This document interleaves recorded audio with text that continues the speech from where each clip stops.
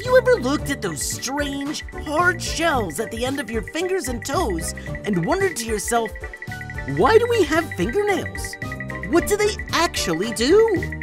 Let's find out on today's episode of Colossal Question.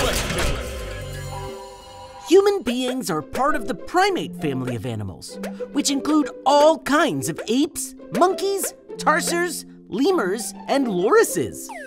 One of the many things that set primates apart are their flat nails instead of sharp claws.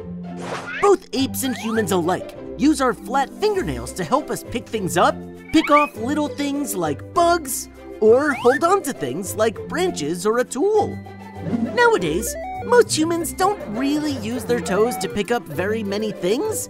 Maybe just a stray piece of dirty laundry here or there. But our other primate cousins use their toes and toenails all the time. If we didn't have nails, the tips of our fingers would just be weird, soft lumps of skin. The hard nail helps keep our fingertips soft but firm in just the right way to suit all our picking, grabbing, and gripping needs. Okay, so our nails help us use our hands, but why don't we just have claws like most other mammals? Why do we have nails instead of claws?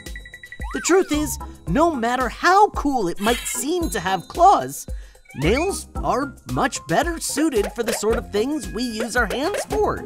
Nails are wide, thin, flat, slightly curved, and grow on the backside of your fingertip or toe.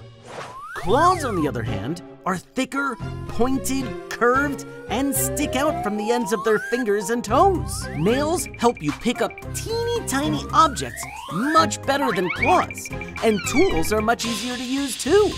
But not every animal lives like humans, and that's where claws come in handy.